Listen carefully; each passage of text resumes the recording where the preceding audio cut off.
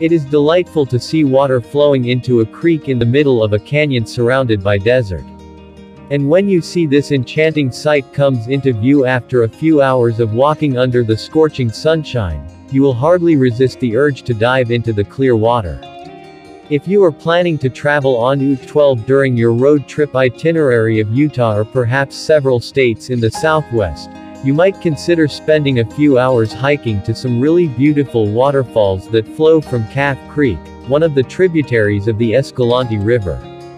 The trails that lead to the waterfalls, both lower and upper, branch off from UT 12, the scenic road that crosses the Grand Staircase Escalante National Monument. Specifically, they are located in the stretch of UT 12 between the town of Escalante and Boulder. Lower Calf Creek Falls are one of the most popular attractions in the vast Grand Staircase Escalante, or at least one of the most frequented by visitors interested in one-day hiking tours. The main waterfall of Calf Creek Falls, which is over 125 featuring high, flows into a plunge pool in a beautiful spot where the canyon suddenly sinks. In the summer, when it gets hot, many of those who come here after a few hours of walking to take a swim in the cool water under the waterfall. The trail is a little less than 3 miles long, about 6 miles round trip, and normally it is good to give yourself between 3 and 4 hours to get there and come back. The trail itself is quite simple, but some parts that require walking in the sand can be tiring and it is also one of the reasons why it is better to wear hiking shoes than sneakers, which fill up more easily with sand. In general, this route suitable for everyone, even children, but you still have to take into account the weather conditions on the day of your visit walking for hours in the sun in the middle of summer is not the best.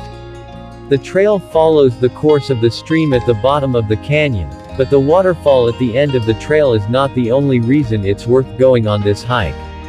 Along the way, you will find a large cave carved into the rock. It is a kind of granary built more than 800 years ago that was used by the inhabitants of these canyons at the time to store their food.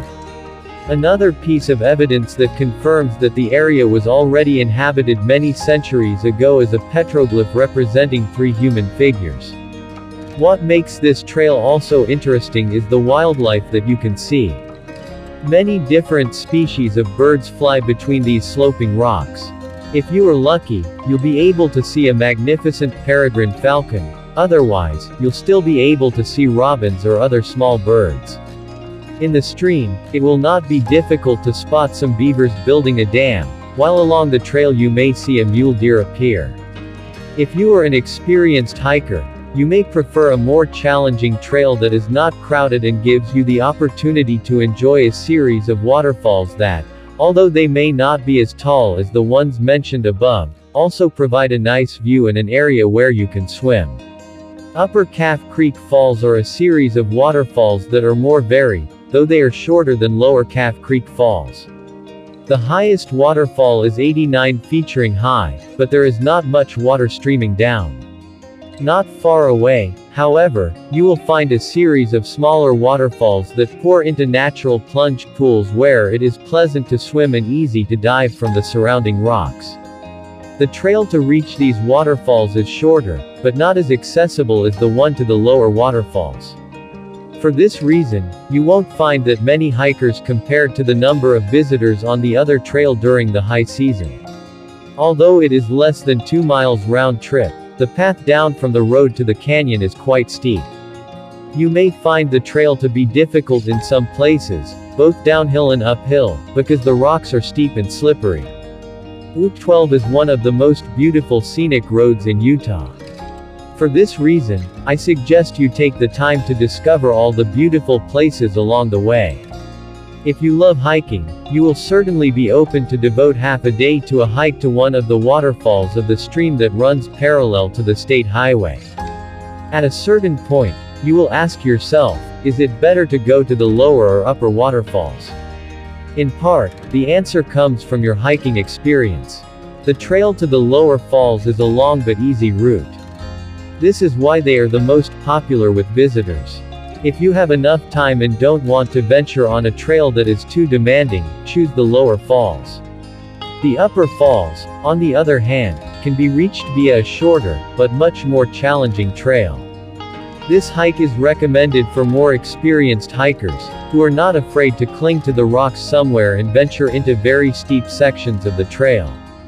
If, on the other hand, you don't have the time or the desire to walk, you can certainly park your car and stop for a few minutes at the Calf Creek viewpoint. This will at least allow you to take a nice picture of the canyon as seen from above but you won't see the waterfalls. We're talking about an area within Grand Staircase Escalante, so don't expect to find the same variety of accommodations offered in a big city nearby. Considering, however, that you will most likely be stopping here on a trip that also includes other destinations along the U12.